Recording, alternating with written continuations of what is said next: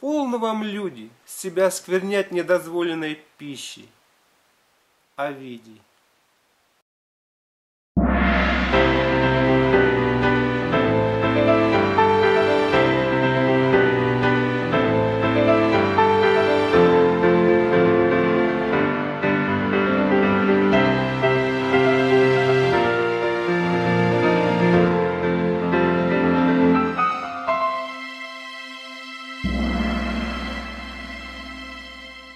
Сейчас повсеместно говорят о том, как приготовить нечто вкусное, необычное, экзотическое.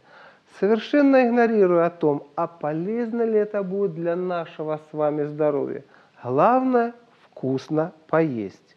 Мы с вами будем говорить о том, как приготовить вкусное, а главное целебное блюдо, съев которое мы не только получим вкусовые ощущения, но также увеличим жизненный потенциал организма – укрепим свое здоровье и даже исцелимся от некоторых заболеваний.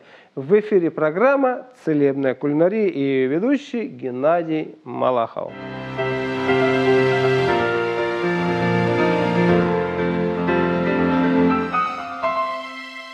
Доброго здоровья, уважаемые телезрители! У нас в гостях телеведущая Таня Ларич. Здравствуйте. И я уже в фартуке, потому что у нас большое сегодня дело. Да. Луковый суп. Кто его только не делал. А с другой стороны, с точки зрения целебности, одни вопросы. Они, конечно же, к вам. Полезен, не полезен, кому и в каком варианте рецептуры? В каком варианте рецептуры? Дело в том, что лук он обладает а, огромным количеством целебных свойств. И самое важное из них – это жгучие свойства, которые способны сжигать даже раковую опухоль. И этими свойствами воспользовался австрийский целитель Рудольф Бройс. Он как раз и рекомендовал луковый суп для того, чтобы ну, как, бы это дополнение, конечно, для того, чтобы излечиваться от онкологии. И, кстати, он с помощью своей методики, в которую входит, конечно, и в том числе луковый суп, излечил, как ты думаешь, сколько больных? 45 тысяч больных. То есть статистика есть статистика, Сила. поэтому да, можно сила, этому доверять. То есть мы делаем по рецептуре вот, а, вот этого... Рудольфа Бройса. Бройса. Делаем по рецептуре Бройса. Может быть, тогда сейчас э, приготовим э, бульон, пусть он себе там варится. Нам нужен будет овощной бульон же ведь? Да, нужен будет овощной бульон. Кратенько, как делается луковый суп? Луковый суп делается так. Значит, отрезается вот, вот эта луковица, и причем она должна быть э, вот даже вот с этой вот э, шелухой. Mm ну, просто-напросто чистенькая должна быть. Вот. Мы ее мелко нарезаем, обжариваем угу. до золотистого цвета. И одновременно делаем овощной бульон, чтобы он у нас был этот овощной бульон. И после того, как у нас обжарится до золотистого цвета, а этот бульончик уже у нас будет, мы туда выкладываем лук и до готовности варим. Хорошо. И после этого хорошо, подожди, особенность употребления этого лукового супа. супа. Оказывается, употреблять его надо только юшку. Все процеживаем и пьем только один бульончик. Да. И вот этот бульончик, он обладает целебными свойствами, которые, с одной стороны, усиливают защитные силы организма, а с другой стороны, вот этими жгучими свойствами воздействуют на онкологической клетки. Потому что свойства, будем говорить, э, лука, они э, как были, так и есть, несмотря на то, что он подвергся э, термической обработке. Хотя, когда мы выходят вот эти вот летучие вещества и горечь, он становится довольно-таки сладеньким. Итак, Приступаем, режем. Я хочу просто э, заложить овощи в воду, чтобы делался бульон. А дальше он себе будет вариться, Хорошо. я услышу... Да, давай для этого их порежем. Порежем, пожалуйста. Да. Давайте порежем. Так? Нет, нет, нет, Ладно. нет, нет, нет, нет. Хорошо. А то, чтобы это, Танюша, вот тебе ты будешь овощи резать, а я буду резать лук. Так эти овощи мы потом э, выкинем же. Ну и что, что выкинем? Так пусть они целиком варятся. Нет? Ну, я Потом думаю, будем выковыривать. ну, я думаю, что все-таки они, это, они лучше разварятся.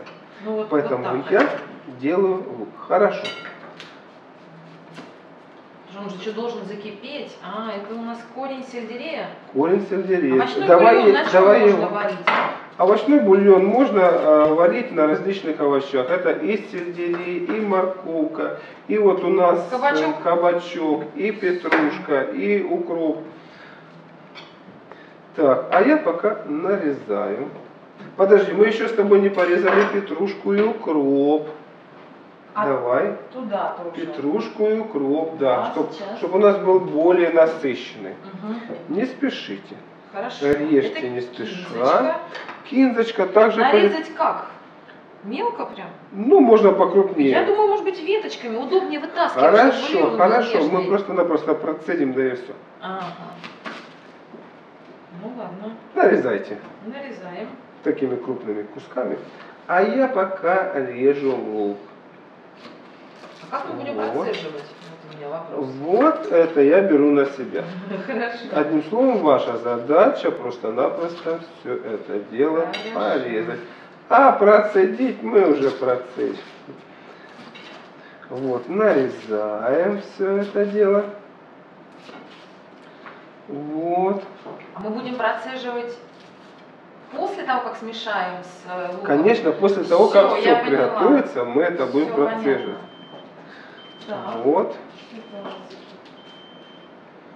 Так, раз, два. А я думала, мы отдельно сварим бульон, с ним до конца все доделаем, а потом соединим э, с луком. А раз мы у нас Нет, все нет, будет, нет. тогда действительно надо помельче было резать. Помельче надо резать. Ну хорошо, я еще успею. Давай. Так, и еще мы обрезаем. Кстати, Бройс разработал целую методику, которая помогает э, в лечении не только онкологических заболеваний, но и других таких серьезных заболеваний. Туда входит и настрой, особенно эмоциональный настрой. Это вера в то, что человек обязательно избавится от своего недуга. Потому что воля оказывается решающим компонентом. Многие люди преждевременно опускают руки и не борются. Более того, они думают, что кто-то за них должен бороться с их заболеванием, которое они сами заработали.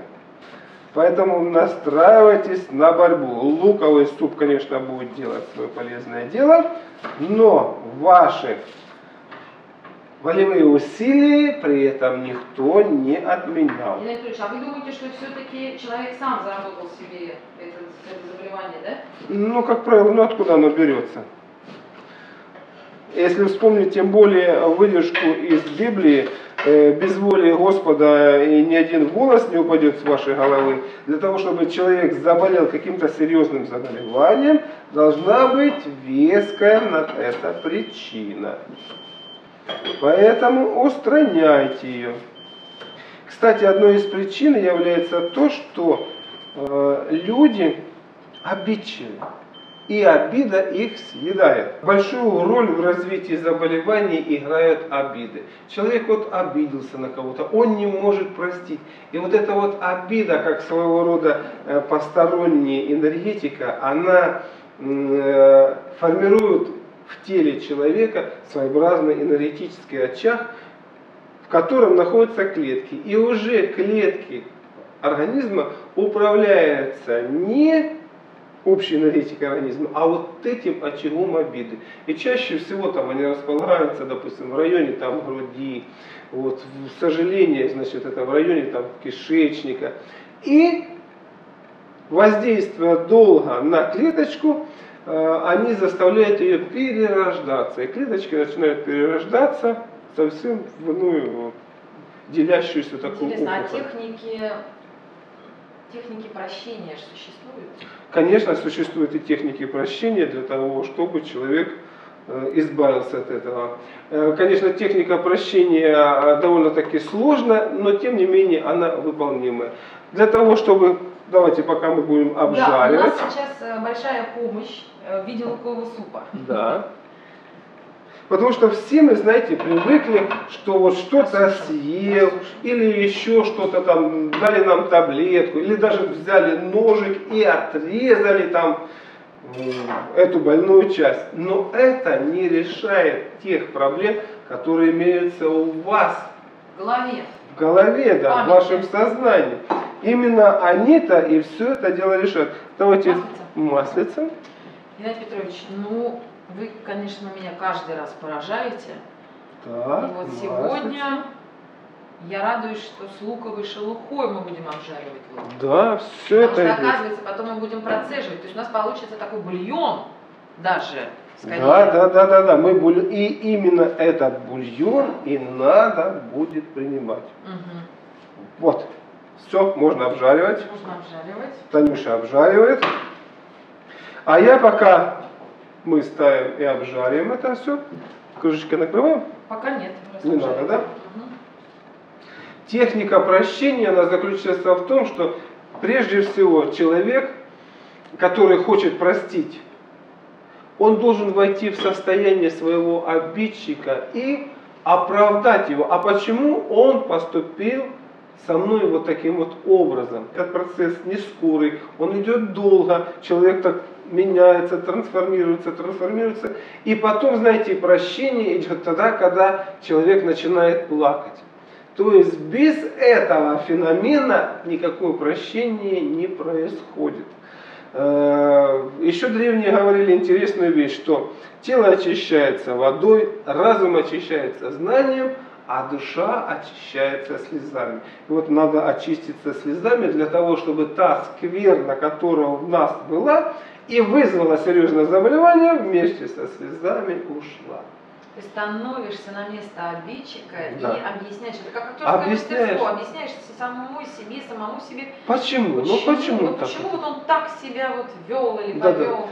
И оказывается, оказывается, что в конце концов, почему он это так сделал и почему ты так отреагировал. И важно, знаете, не то, что почему он так сделал, оказывается, важно, почему ты так отреагировал, потому что это скверно или духовное несовершенство уже у тебя были. Они ждали своего учителя, они ждали своего момента, когда все это проявится.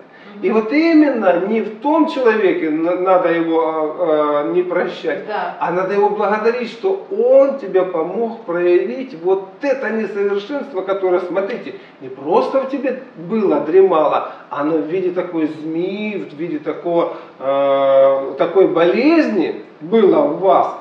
Вот, и вы от него избавляетесь. Все. И оно уже, знаете, не имеет над вами силы. И опухоль раз сама потихонечку рассосется и уйдет. А вы станете более духовно зрелым, более духовно совершенным. Вот в чем дело, оказывается. Да? Да. А у нас, суть до дела, прекрасно зашкварчал лучок. Я Да. вспомнила две фразы, связанные с обидами. Но это уж вот когда получится вам прощать тех, кто вас обижал. Или давайте так, по-другому скажем. Вот наступил какой-то момент, и вы про себя думаете, ой, я сейчас обижусь, о, сейчас я как обижусь. Оно уже пошло, что я уже обижаюсь. Выбирайте любую, их две фразы. Первая. Все обиды от бедности духа. Великолепно. Вторая фраза, ну, она такая женская, говорят, она принадлежала Зыкиной. Обида – удел горничных. Тоже, тоже тонко. Поэтому имейте в виду, что вам нравится, то и выбирайте.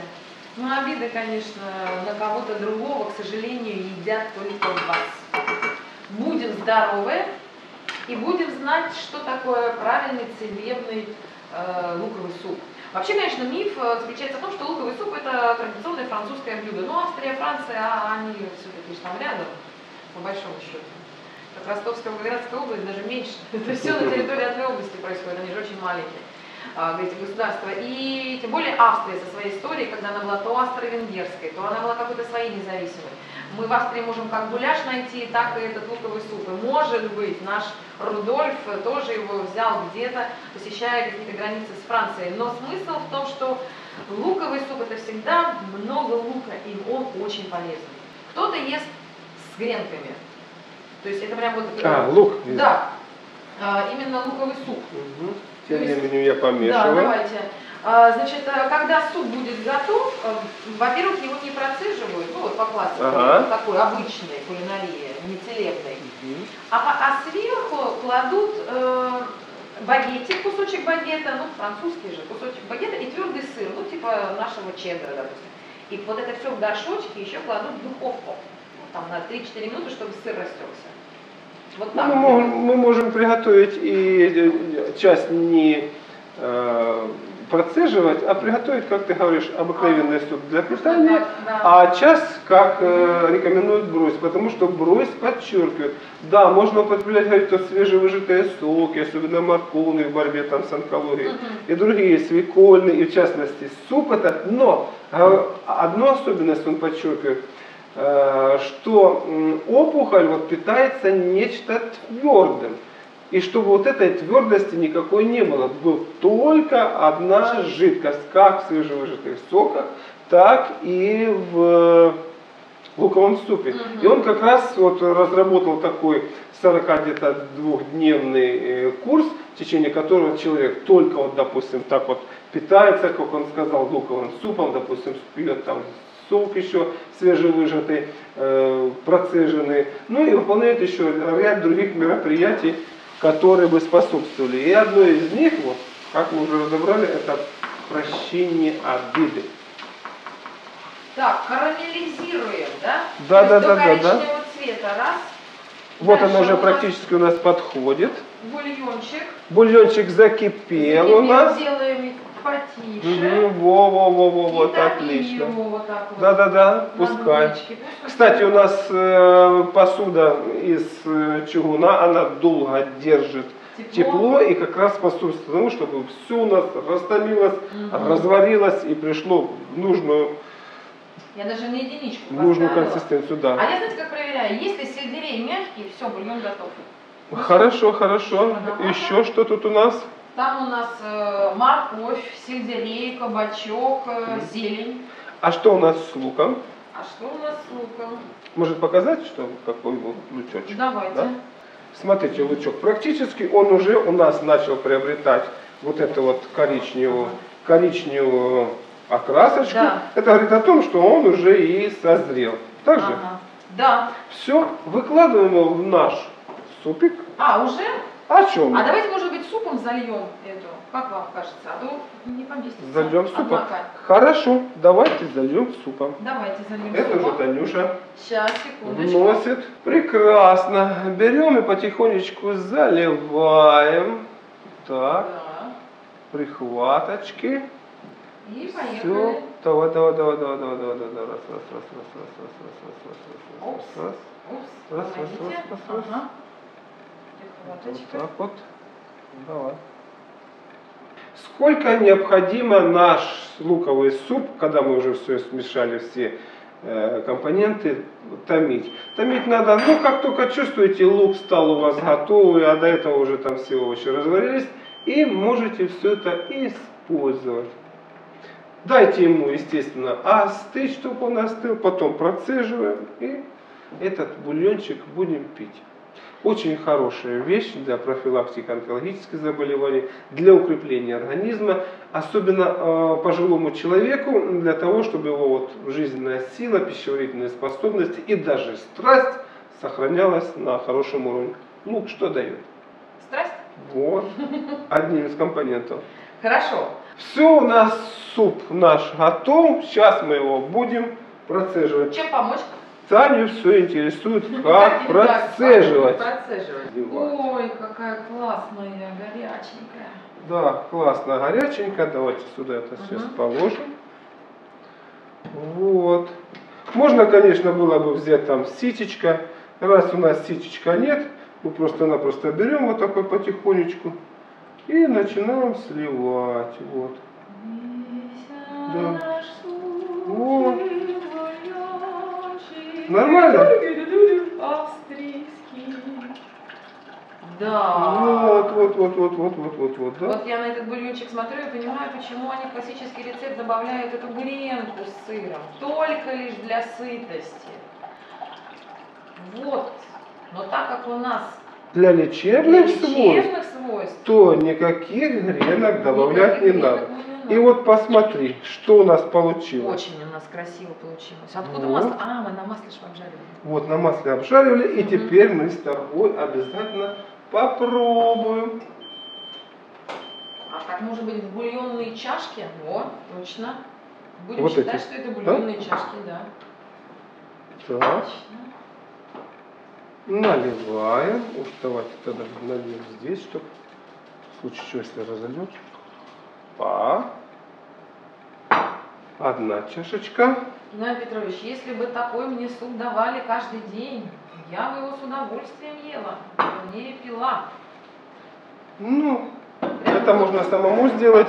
Ведь все, что здесь мы делаем, мы это делаем сами. Ну а вот если бы мы оставили лук, э, вреда мы бы не нанесли? Нет, Нет. Нет, вреда никакого бы не нанесли, съели и лук, это было бы даже хорошо. Но так как мы с вами используем классический рецепт Рудольфа Бройса, видите, никаких тут э, твердых образований нет. Мы сейчас его, Будем здоровы. да. И все наши близкие. А, мы не солили, вот еще вот. И соли не надо. Вот интересный получается такой вкус. Это правда. А соли не надо. А роза упала на лапу Азура. Сельдерей тоже как хорошо слышится. Щедро добавили. М. А Может быть, с кусочком хлебушка? Ну, можно. Можно, собой. можно с, кус- с кусочком хлебушка, конечно, его и есть, э, как обычное питание. А в целью лечебного, целью профилактики, и даже, знаете, можно делать на вот таком супике разгрузочные дни, вы будете оздоравливать свой организм и укреплять его. Так что делайте этот суп. Да, и пусть минует, конечно, нас эта чаша, когда мы в лечебных целях будем этот суп делать, но мы вооружены. Доброго вам здоровья, до новых встреч!